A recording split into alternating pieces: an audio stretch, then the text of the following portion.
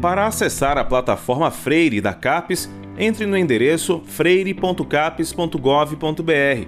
Em seguida, clique na opção Entrar ou acesse aqui. O acesso à plataforma deve ser realizado utilizando as opções gov.br ou CAPES ou OrcID. Orientamos a acessar a plataforma Freire utilizando preferencialmente a opção gov.br, com o uso de login e senha. Caso ainda não possua login do sistema gov.br, você pode criar sua conta no endereço gov.br. Com a sua conta Gov, clique na opção correspondente e insira seu CPF e siga as instruções indicadas pelo sistema. O login por meio da opção CAPES é indicado apenas para quem já possui cadastro nos sistemas da CAPES. Para acessar, clique na opção CAPES e digite seu CPF e senha para entrar na plataforma Freire.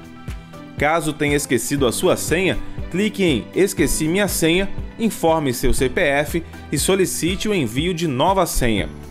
Verifique na mensagem exibida se o e-mail cadastrado na CAPES para receber a nova senha está atualizado. Se não estiver, clique no local indicado e siga as orientações apresentadas na tela.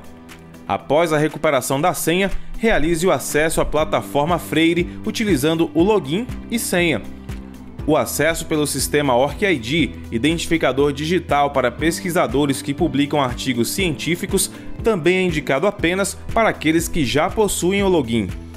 Se você não possui cadastro na CAPES ou no sistema OrcID, deverá seguir com login por meio do gov.br. Na página inicial de acesso da plataforma, no menu superior esquerdo, é possível consultar as opções sobre a plataforma e perguntas frequentes para mais informações.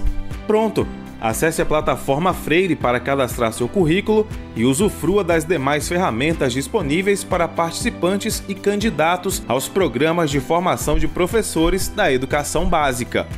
Ficou com alguma dúvida? Envie e-mail para freire.curriculo.capes.gov.br.